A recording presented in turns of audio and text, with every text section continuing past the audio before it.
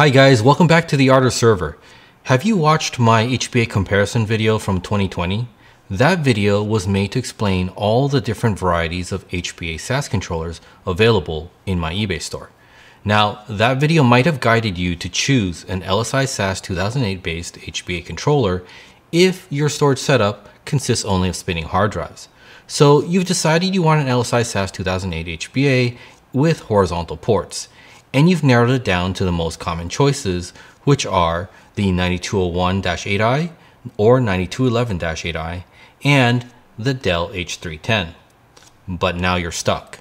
How do you choose between the genuine LSI cards versus the Dell cards? Which one is better? I'm going to help you answer that question in this video. Now, before we get into it, please smash the like button for the YouTube algorithm so more people can benefit from this information. And if you're into building your own servers for TrueNAS, Unraid, or any other NAS, subscribe to my channel and hit the notification bell so you don't miss my next video. All right, let's get into it. So here I have the LSI 9211-8i which is mostly identical to the 9201-8i except it has an extra NVRAM chip to support the RAID firmware. And over here, I have the Dell H310. Both of these are flash to LSI IT mode, and both of these are based on the LSI SAS 2008 chipset. Both also have SFF 80, 87 SAS ports facing the horizontal uh, direction towards the front of the card. So from a functionality and performance standpoint, these are essentially identical. But of course, as you can see, they do have some differences. So let's talk about some of those differences. All right, first, the LSI controller has a lot more LED indicators than the Dell card. The LSI card has a heartbeat LED right over there, a power LED right there, two uh, SAS port activity LEDs, each uh, for each of the SFF 8087 ports here and here, and individual SAS lane activity LEDs on top over here. Also, there's a system error LED indicator back here. These LEDs can be helpful when you're having problems and can aid in your troubleshooting effort. And if you like to see blinky lights in your server because perhaps you're using a PC case with a window, then you might really appreciate all these lights. On the other hand, the Dell H310 is very minimal in this regard and only has a single heartbeat LED located right there.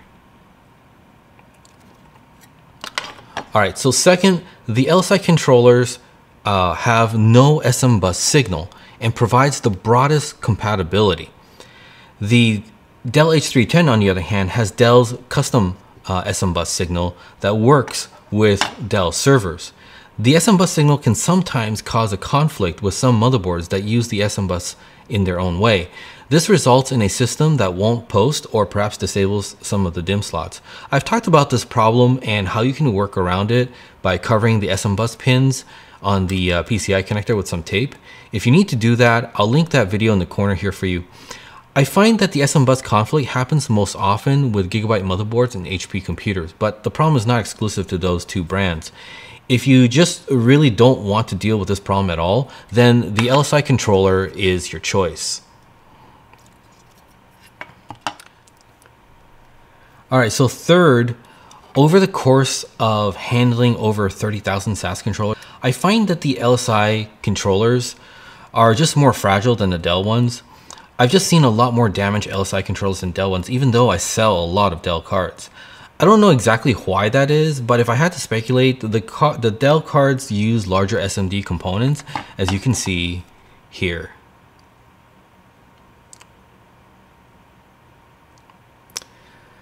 So compare that to the LSI ones.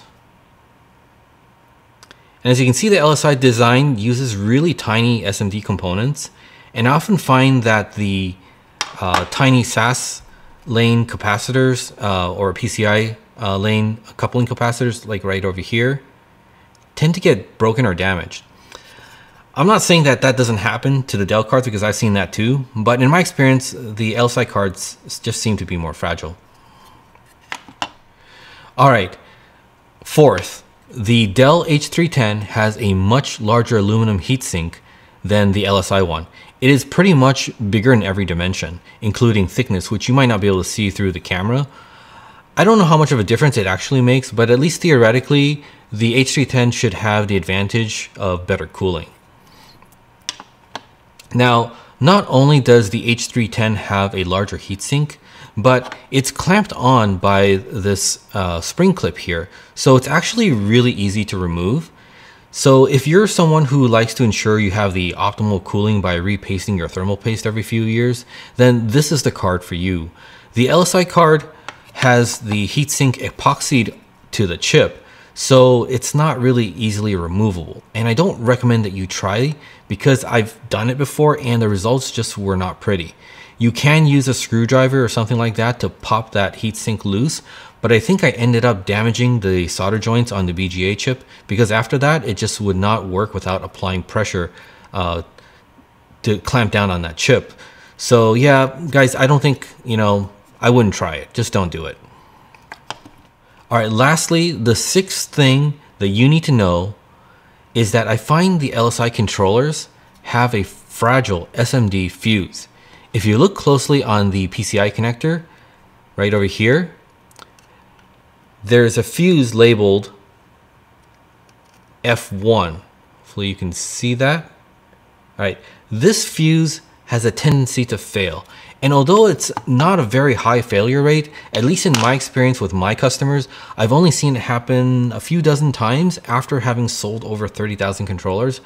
But this is something that still has become noticeable over the years. So I wanted to mention that. In fact, many of the B stock cards I've repaired and sold uh, were ones where I had to basically replace that F1 fuse. In contrast, I've never ever seen that failure on a Dell H310. So guys, those are the six things you need to know when choosing between the LSI 9211 8i or 9201 8i versus the Dell H310. I know there's no clear winner here as each one has their strengths and weaknesses, but I hope this information will help you make the best choice based on your own preferences and how much weight you give to each of these factors. Alright guys, uh, that's it for this video. If you found this video useful, be sure to give it a like. And if you're into building servers, don't forget to subscribe and hit the notification bells so you'll know when I release a new video. Also, if you'd like to support my channel, check out my eBay store where I have the largest selection of LSI IT Mode HBA SAS controllers already flashed and ready for your servers. Link in the video description below. Thanks for watching and have a great day guys. Bye bye.